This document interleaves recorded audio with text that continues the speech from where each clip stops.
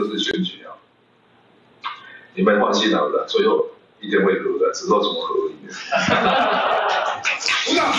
全场以热烈掌声作为回应，有没有听错？蓝白要整合了。民众党总统参选人柯文哲才气国民党爱放话蓝白合，才过一天，态度一百八十度大转变。政治上，你不要把每个人都当做敌人，一直在思考说，哎，为什么内阁？全世界先进国家都有内阁制，有它的道理。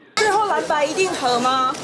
柯文哲没回应，但他二十八号去参加中华战略学会活动，对着退役军官将领们，不但首度亲口说出蓝白一定和，被问到克刚也说不赞成去中国化，还表示可以恢复三民主义教学，这本来就是宪法第一条，但若是要入考题，态度就保留，字字句句很对深蓝的胃，整合脚步看似近了。这个和指的是政党之间应该要和谐合作。我们主张由第三方的公正民调来选出最强的候选人，足以挑战民进党的赖清德，输的退选。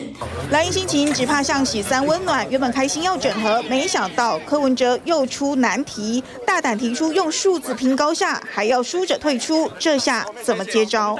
我们尊重民众党对于蓝白河的任何的意见，只有在野。党合作才可以下架民进党。金庸的华山论剑虽然精彩，还是比较喜欢《射雕英雄传》里侠之大者，为国为民。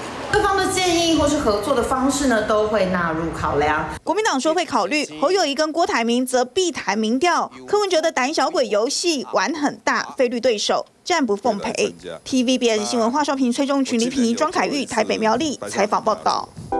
想看最完整的新闻内容，记得下载 TVBS 新闻网 APP。